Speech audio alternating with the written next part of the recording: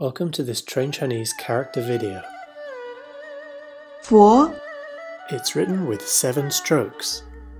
撇，竖，横折，横，竖折折钩，撇，竖。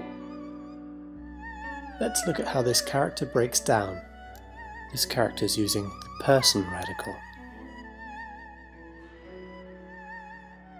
佛。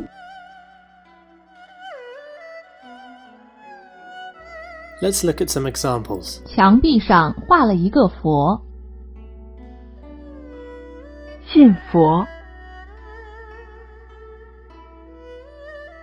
Here's a character that looks similar. Pay attention to the differences. Discover this and thousands of other Chinese characters at trainchinese.com and in the Train Chinese apps.